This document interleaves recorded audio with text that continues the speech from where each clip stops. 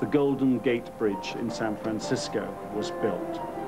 It was the largest suspension bridge in the world at the time and still is the third largest. This was the bridge which many had said couldn't and some had said shouldn't be built when it was first proposed in 1923. But 129,000 kilometres of steel wire, 83,000 tonnes of steel, and 15 years later, Golden Gate Bridge designer Joseph B. Strauss had proved them all wrong. In 1937, he gave the very last rivet made of gold to Edwin Iron Horse Stanley to install in the bridge.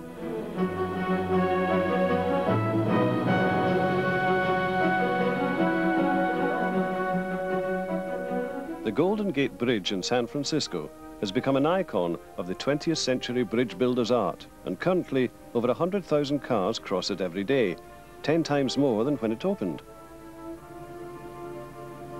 But only a few hundred miles up the Pacific coast from here, Tacoma Narrows, stands another, more chilling icon for bridge builders.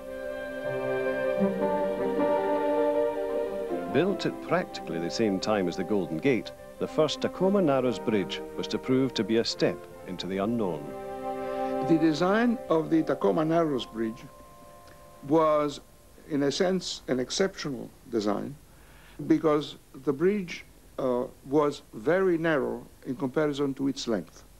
It was a bridge in which the ratio of length uh, to width was among the largest uh, in the world and it was designed by Leon Moisseyev, who at the time was by far the greatest designer of suspension bridges. He had done uh, extremely original work on the effect of wind on such bridges, and it was inaugurated with great glee and joy by the governor of uh, Washington State.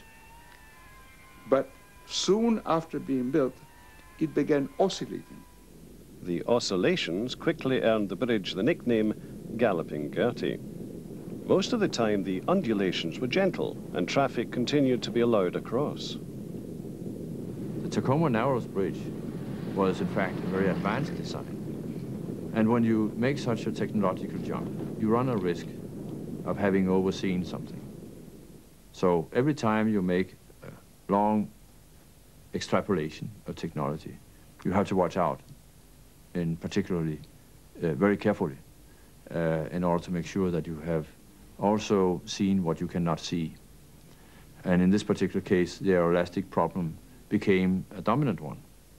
Galloping Gertie's aeroelastic problem became so famous that whenever the wind speed and direction were right, tourists would come from far and wide to watch her do her usual act.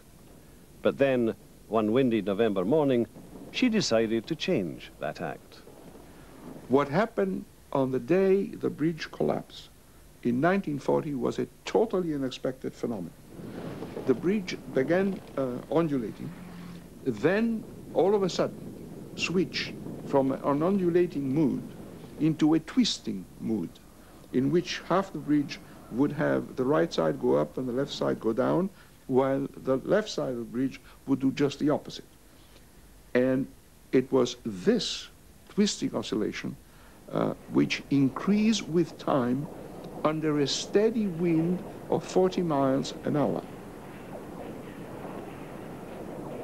The bridge had been closed to traffic about half an hour before Gertie had begun her new turn, and all but one car had made it safely off the bridge. The car was Leonard Coatsworth's, and in it, apart from him, was his daughter's dog, Tubby. Both Leonard and Tubby were becoming increasingly distressed by the actions of the bridge, but only Leonard had the sense to stagger away to safety.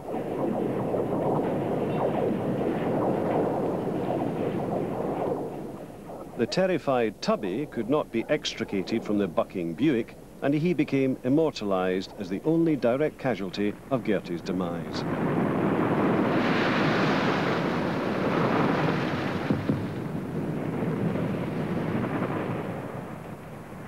But perhaps there's another indirect casualty, the bridge's designer, Leon Moiseyev. Moiseyev uh, died of a heart attack six months later, And when he was asked originally, do you have an explanation for what happened? He said, I have no idea of why the bridge collapsed. He was totally justified. The engineers decided to build a scaled-down version of Gertie in the wind tunnel to see whether they could replicate her unusual behaviour patterns.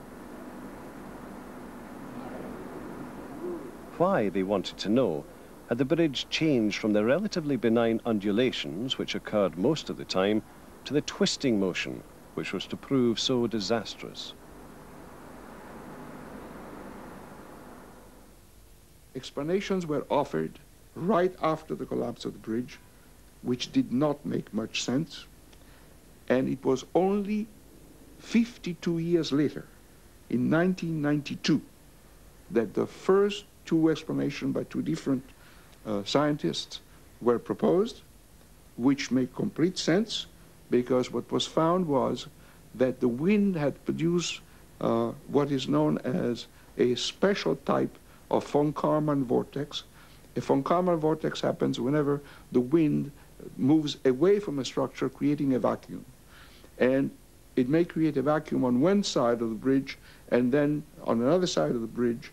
And if this sucking on either side of the bridge occurs in resonance, meaning with the same period, in rhythm with the twisting oscillation of the bridge, then the bridge will collapse.